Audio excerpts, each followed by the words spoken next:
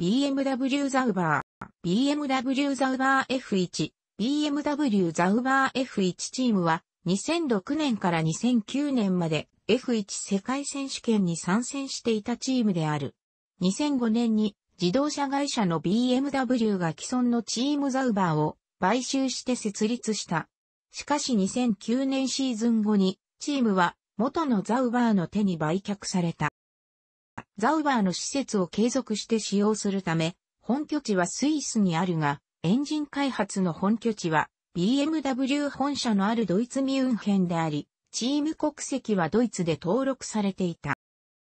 オープンホイールのフォーミュラカーにおける BMW の活動は、その初期において F2 シリーズへの参戦を中心としたものである。F1 には1980年代から本格的に参戦するようになり、主に1980年代と2000年以降の2期に分けて考えることができる。ここでは、その前史である F2 時代についても簡単に取り上げる。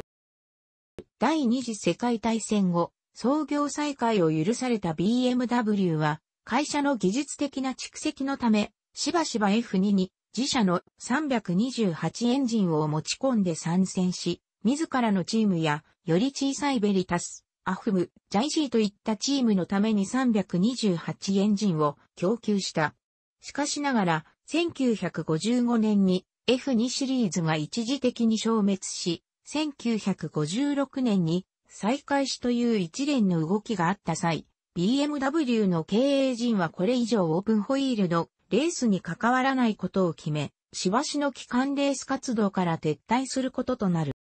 1950年に始まった F1 には、1952年から1954年にかけ、アフムチームなどにエンジン供給するとともに、自社チームも参戦させ、主にドイツ GP のみ、いずれもスポット参戦の形で出場を記録していい。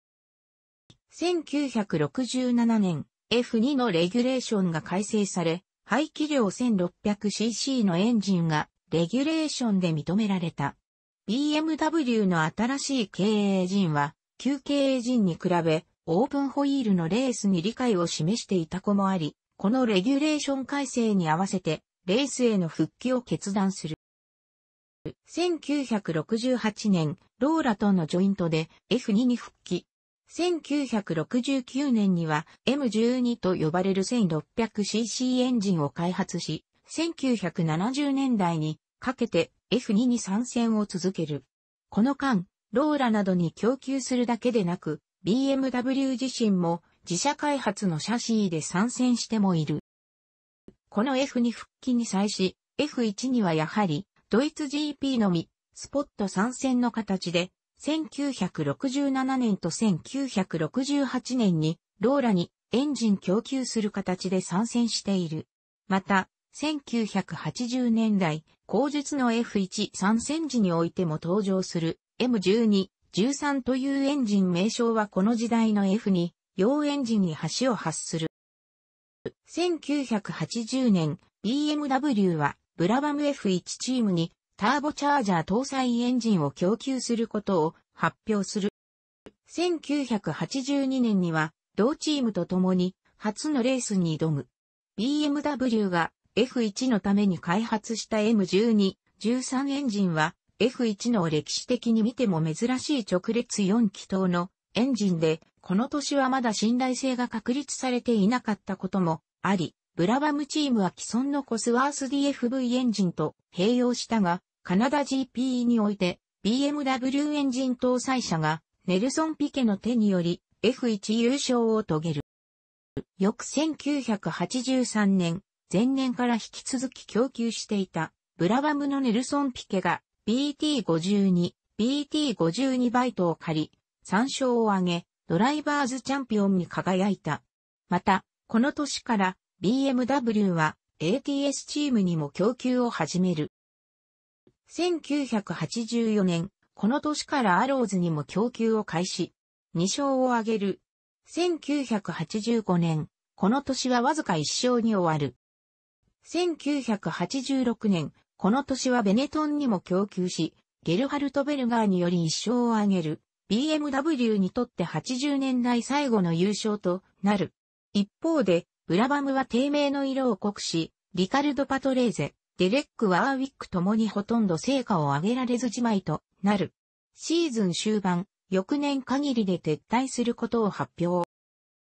1987年、ブラバムにのみ供給し、発表した通りシーズン末に撤退した。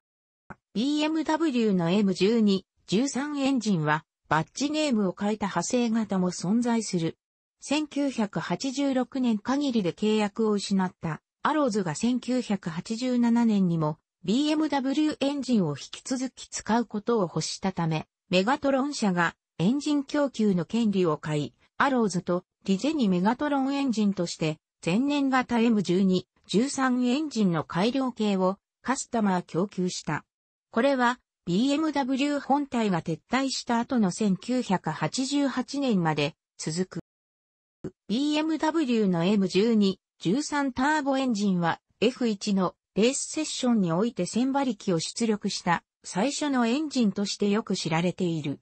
予選ではブースト圧の設定を変更することで最大で少なくとも1400馬力まで出力を向上させることができたと言われている。BMW はマクラーレンと関係を深め BMW モータースポーツ社製のエンジンを市販車マクラーレン F1 に供給した。このこともあり、1992年に同 F1 チームがホンダエンジンを失った際、その後継としてマクラーレンに V12 エンジンを供給するなどと復帰の噂が一時期絶えなかったが、結局実現には至っていない。F1 復帰を決断した BMW は1997年にウィリアムズと契約し、2000年の復帰に向けアドバイザーとして、かつてのドライバー、ゲルハルト・ベルガーを迎えるなど準備を始めた。手始めに、ウィリアムズ製のテストシャシーに、自社開発の V12 エンジンを乗せて、初期の開発を行った BMW は、実践テストという思惑もあって、このエンジンを搭載した BMW V12LMR を1999年にルマン24時間レースに参戦させ、優勝というこの上ない形で成果を結実させた。同時に、同年には、ウィリアムズの F1 シャシーを使用し、いよいよ翌年の F13 専用の V10 エンジンのテストを開始する。ラルフ・シューマッハとこの年、デビューとなる、ジェンソン・バトンを要して迎える。開幕前の時点では、テスト時のタイムがあまりにも遅かったため、BMW はエンジン開発に失敗したとのモッダの評判であったが、復帰戦となったオーストラリア GP で下馬評を覆す構想を見せ、見事に復帰戦を表彰台で飾り、シーズン自体も年間通して復帰初年度としては上々の出来で終える。続く、復帰2年目ながらもこの頃になると、BMW エンジンは極めて高い評価を得ており、特にエンジンパワーの面では優位性を確立していた。この年は、ラルフ・シューマッハが3勝を挙げ、カートチャンピオンの新人ファン、パブロ・モントーヤも初優勝を記録している。はモントーヤがポールポジション7回を獲得しながらも結果につなげることができず、ラルフが1勝するに止まったが、コンストラクターズ2位に浮上。は、ラルフ、モントーヤともに2勝ずつ挙げ、モントーヤはシーズン終盤までドライバーズタイトル、チームとしても最終戦までコンストラクターズタイトルを争うが、あと一歩のところで、両タイトル逃したが、前年と同じく、コンストラクターズ2位を獲得。2003年は BMW にとっては、大成功と言えるシーズンとなった。これ以降も、さらなる躍進が期待されたが、レギュレーションの影響やマシン開発をめぐって、BMW とウィリアムズは衝突し、成績面も下降線を折り始めることとなる。はエンジン規定の変更やマシン開発の失敗の影響で一勝。この年はモントーヤが最終戦に記録で終わった上、コンストラクターズ4位に転落。このせいで、ウィリアムズのシャシー部門と BMW 側との間には徐々に摩擦が生じ、これらの状況の解消を図った BMW 側は、ウィリアムズチームの買収を検討するが、これには、同チーム代表であるフランク・ウィリアムズとパトリック・ヘッドが、カタクナに拒否。BMW とウィリアムズの間には不協和音が生じつつあった。ドライバーのラインナップが一新され、マーク・ウェバーとニック・ハイドフェルドという共に若さと一定の経験を兼ね備えたコンビとなる。ドライバーたちは検討したと言えるが、チームは低迷し、トップからは大きく離されたランキング5位でシーズンを終える。BMW がこの年に向けて開発していた P85 エンジンは唐突に発表された2レース1エンジン規定に対応できなかったので1レース1エンジン前提で開発をしていたため、この年は前年型を手直ししたのみの P84 5エンジンで戦っていた。そのことも響き、シーズン中はチーム内でシャーシ部門とエンジン部門の間で責任の押し付け合いとなり、いよいよ、ウィリアムズとの亀裂は、決定的となる。BMW ウィリアムズチームとしての6年間だが、最初の2年間でエンジンは、高評価を得ることに成功し、その集大成が2003年に結実することとなった。だが、各シーズンをドライバーのミスでチャンスを活かしきれなかったことや、その信頼性に泣かされることも少なく、順風満帆とは言えなかった。その上、2003年シーズン以外はタイトル争いは無理でも優勝を重ねるチャンスはあった。もののそれを活かしきれずに終えてしまった。それでも2003年まではレース成績としては十分に成功を収めたと言って良いシーズンを送っていたのだが2000年から2004年の間はフェラーリが F1 シリーズを席巻していた影響によってその結果が影に隠れてしまった面もあった。BMW は2005年6月22日にプライベーターチームのザウバーの買収を発表した。新チームはスイスにあるザウバーのファクトリーと風洞施設を引き続き使用してシャシー開発をし、ミュンヘンの BMW ファクトリーでエンジンの開発をするという体制を取ることになった。ザウバーが持っていたスポンサーについて、タイトルスポンサーだったペトロナス、クレディ・スイスともに新チームに残留した。このほか、テクニカルパートナーとして新たにインテルと契約した。2005年6月22日、BMW がザウバーの買収を発表した当初、その名前は BMW F1 などになるものと考えられていたため、同年11月14日に新チーム名が発表された際、ザウバーの名が残されていたことは若干の驚きをもって迎えられた。これについて BMW はザウバーの創設者であるペーター・ザウバー、並びに引き続きチームのために尽力することになるスイスの旧ザウバースタッフに敬意を表してのものだと説明しているが、一方で仮にチームが不調に終わった時に BMW 単独名での参戦の場合は、本社のブランドイメージに傷をつける恐れがあり、それを嫌ったためだ、とも言われている。しかし、参戦初年度から不振にあえぐ老舗、ウィリアムズやマシンが決まらないトヨタらを尻目に着実にポイントを重ね、コンストラクターズ5位と上場の成績を収めたことから、BMW 本社の心配はひとまず気有に終わった。参戦数など、BMW ザウバーチームの記録の扱いについては、いくつかの混乱が見られるが、2006年の参戦、開始時においては、F1 の主催者である FIA による2つの公式サイト上のどちらでも BMW ザウバーの記録欄はザウバーのそれを引き継ぐ形となっており BMW ザウバーとザウバーは同一のチームとされている。コンストラクター登録はザウバー2006年 BMW 2007年 BMW ザウバー2008から2009年と変化しているが現在の F1 においては参戦、チームイコールコンストラクターであるため、チームの記録とコンストラクターの記録を分けて考えることは誤りである。同様の例として、レッドブルレーシングが年によって、レッドブル、RBR と登録名が変わっているが、これらが別のコンストラクターとして理解されることはない。BMW は1952年と1953年のドイツ GP の2戦だけ自社名義で単独人戦しており、1952年には決勝12位、1953年には14位と15位で、それぞれ感想を記録している。この2戦の扱いについては、BMW と BMW ザウバーとして別記録として扱うことが一般的である。2006年、新生 BMW ザウバー F1 チームは、この頃は珍しくなかった型落ちのマシンで戦いで、後から新車を導入するのではなく、開幕戦から新車 BMW ザウバー F1.06 を投入。BMW ウィリアムズ時代に良い働きを見せ、また前オーナーのペーター・ザウバーのお気に入りでもあったニック・ハイドフェルドをファーストドライバーに迎え、ザウバーとの間に交わした契約が依然有効だった1997年のチャンピオン、ジャック・ビルヌーブとのコンビネーションでシーズンに臨んだ。控えのサードドライバーは WSBR のチャンピオンであるポーランド人のロバート・クビサであった。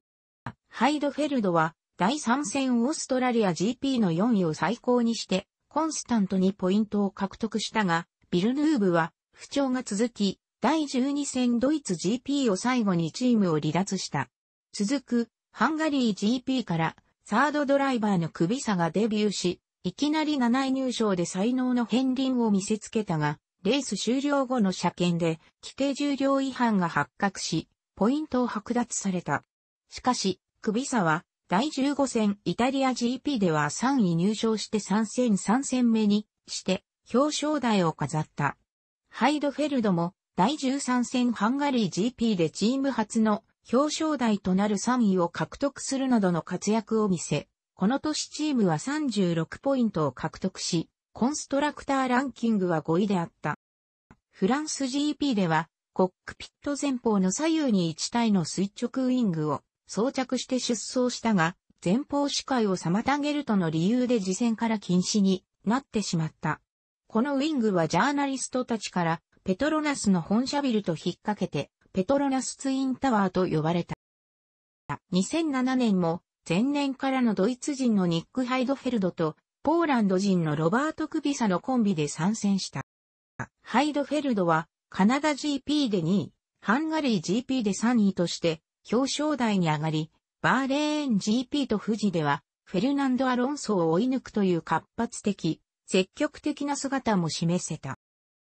首差も序盤からコンスタントにポイントを獲得していたが、カナダ GP でトヨタのヤルノトゥルーリと接触し派手にクラッシュした。この事故は BMW ザウバー発足以来最も重大なアクシデントであり、一昔前であれば確実にドライバーは死亡しているような事故であったが、ハンスを着用していたこと、そして F1.07 がクラッシュテストで想定された通り、きちんと壊れたことからドライバーへのダメージを吸収したため、奇跡的なことに、首差自身は足を捻挫しただけで済んだ。ただし FIA の医師団の勧めに従い首差は、次戦アメリカ GP を欠場することになった。アメリカ GP では、首差の代役で、ドイツ人のセバスチャン・ベッテルが出走することになった。ベッテルはこのレースで、完走8位入賞して1ポイントを獲得した。新人ドライバーが、いきなり出走して、ポイントを獲得できたのは、ベッテルの才能も、さることながら、F1.07 のポテンシャルの高さを示したとも言える。首差は、フランス GP からは、元気な姿でカムバックし、その後もコンスタントにポイントを獲得した。結果的にこの年は、ほとんどのレースで二人とも入賞でき、マクラーレンとフェラーリに次ぐ第三の立場を築くことに成功した。マクラーレンのポイント剥奪により、コンストラクターズ2位という好結果でシーズンを締めくくった。また、仮に、これがなくても成績面で文字詞により、下のチームと大差をつけたシーズンとなっている。2008年も引き続きハイドフェルドとクビサのコンビで参戦。オフシーズンのテストでは二人とも新車 F1.08 に手こずっていたが、シーズンが開幕するとフェラーリ、マクラーレンにも劣らないペースを見せた。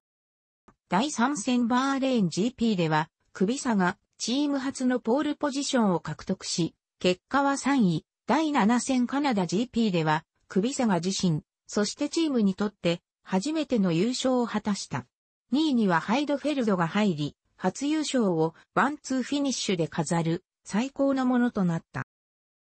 だが、第7戦カナダ GP の優勝で、クビサがポイントリーダーになったにもかかわらず、同年7月の合同テストから翌年の新車開発に比重を移してしまった。だが、この直近にあたる第10戦ドイツ GP の結果の時点ではまだ、クビサのタイトル獲得の可能性は十分に残っており、このチーム方針に対し構想していたクビサは不満を呈したように、この影響で F1.08 の開発ペースが遅れたことでタイトル争いから脱落する原因となり、マシンとしても、ルノーやトヨタとの差を詰められることとなった。ただ、これは2009年からカーズの導入やマシン設計に大幅な変更を求めるレギュレーション変更があり、それに備えた面もあった。それでもシーズン全体で見れば、マシンの信頼性は十分あり、安定してポイントを稼いだ。また、マシントラブルによるリタイアは一度もなく、